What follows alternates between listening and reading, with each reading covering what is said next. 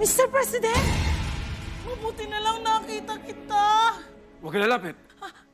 Bakit, Mr. President? Ay ba ninyo ako makausap? Sinabi Ang mo wag ka lalapit eh.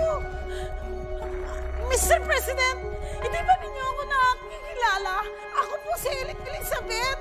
Naku, Mr. President, gusto-gusto na po kayo makita ng mga kasama ko rito. Sige na, sige na.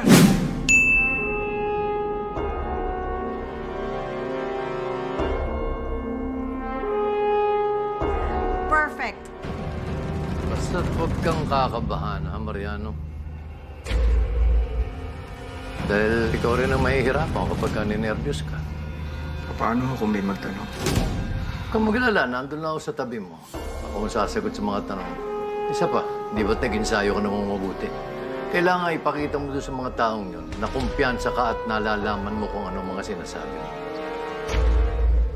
Kapag pumalpa ka, katapusan na.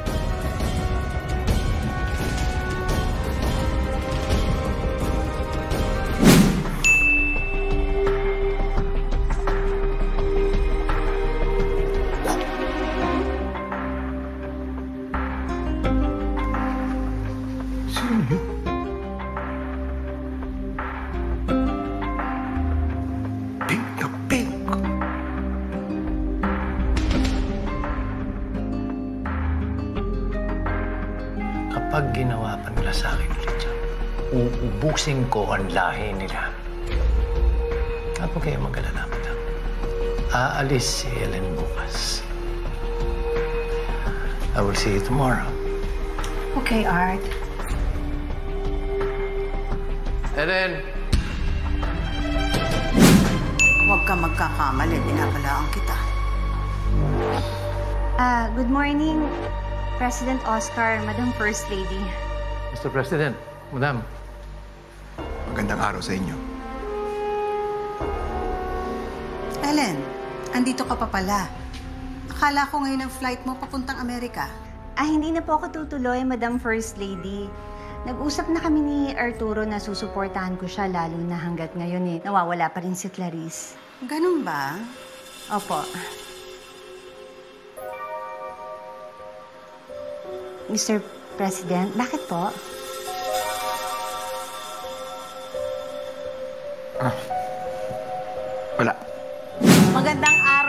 Mr. President, Madam Lily. Magandang araw, Eloisa. Gutom na si Mr. President. Pagkain, mga pagkain. Opo, opo. Elizabeth ang pangalan noon. Upo na.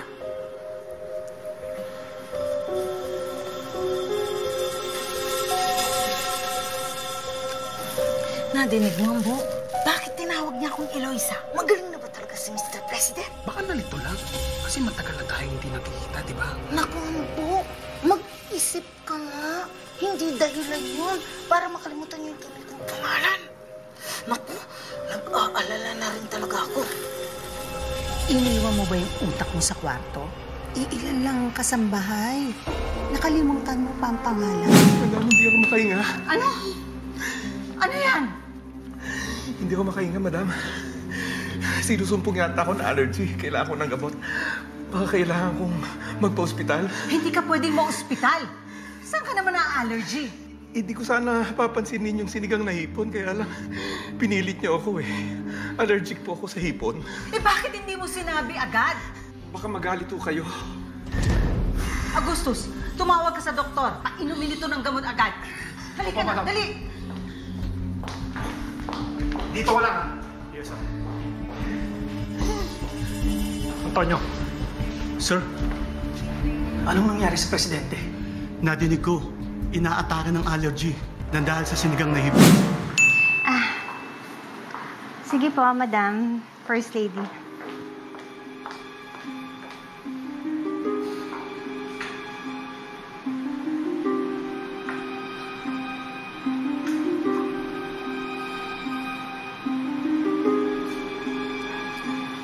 Napaka-estupido talaga ng Mariano na yan. Tinawag ba namang Eloisa si Elizabeth? At hindi lang yon. Kumain ng hipon. Allergic pala siya. Pambihirang buhay ito. Ako na nga nagka-allergy. Ako pa sinisi.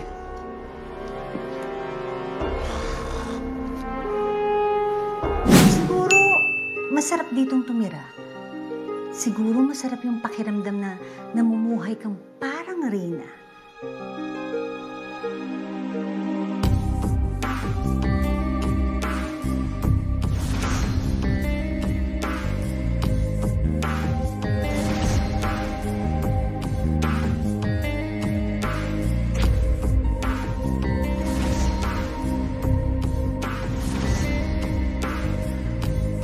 Lang may dumapong anghel dito sa palasyong ito. Kailangan ko siyang makausap ulit. Ang ganda niya.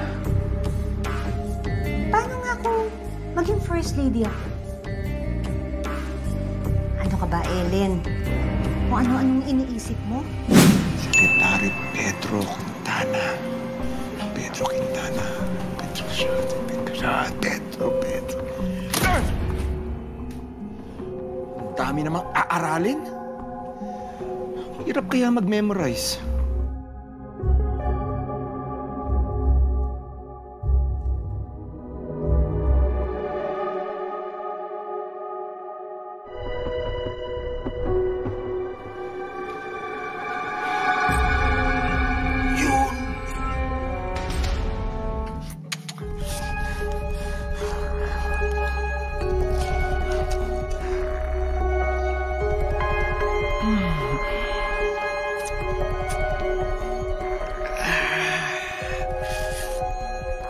Suabe, suabe. Miss na miss ko to. Bakit ba talaga ganun makatingin sa akin si President Oscar? Parang may kahulugan ng tingin niya kasi sobrang lagkit kong makatitig. Sa bagay, maganda pa rin naman ako tsaka sexy. Sana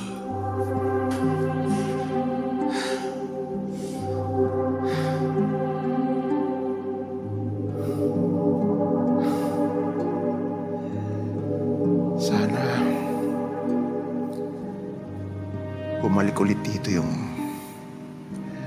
maganda at sexy bahay kanina.